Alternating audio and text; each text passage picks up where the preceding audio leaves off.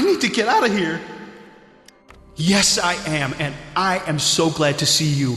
Your arrival is a blessing. Might I beg you for another heroic feat?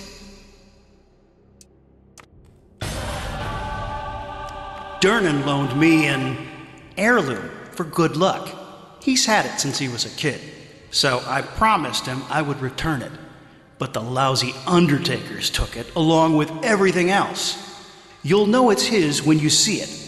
The guards talk about a treasure cache hidden backstage. That's the only clue I have for you. There's a secret passage in the south wall of this room. Don't worry about me. When everyone's looking at you, I'll slip away. Good luck, and thanks again.